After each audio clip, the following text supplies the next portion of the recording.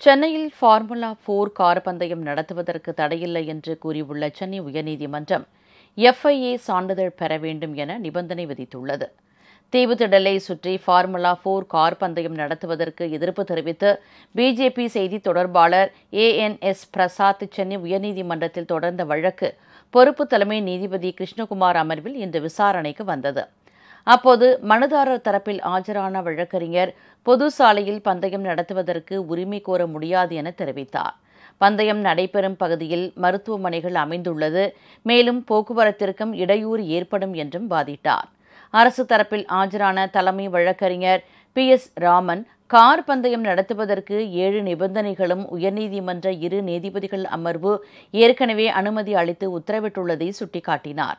அந்த நிபந்தனைகளை பின்பற்றியே பந்தயம் நடத்தப்படுவதாகவும் விளக்கமளித்தார்.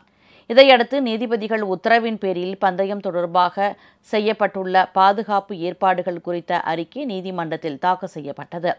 இதை ஏற்றுக்கொண்ட நீதிபதிகள் மருத்துவமனைகள் மற்றும் ரயில் நிலையங்களுக்கு செல்பவர்களுக்கும் போக்குவரத்திற்கும் இடையூறு ஏற்படாமல் கார் பந்தயத்தை நடத்தி கொள்ளலாம் என அனுமதி அளித்து உத்தரவிட்டனர். அதே சமயம் பந்தயம் தொடங்குவதற்கு முன்பாக சர்வதேச அமைப்பான எஃப்ஐஏ சான்றை பெறுவது கட்டாயம் என நிபந்தனை விதித்தனர். உங்கள் ராஜ் நியூஸ் தொலைக்காட்சியில் திங்கள் முதல் வெள்ளி வரை தினம்தோறும் பிற்பகல் இரண்டு மணிக்கு உங்கள் பகுதியில் உள்ள குறைகளை நேரலையில் தெரிவிக்கும் புகார் பெட்டி நிகழ்ச்சி. பங்கு பெறுங்கள் பயனடையுங்கள் காணத் தவறாதீர்கள்.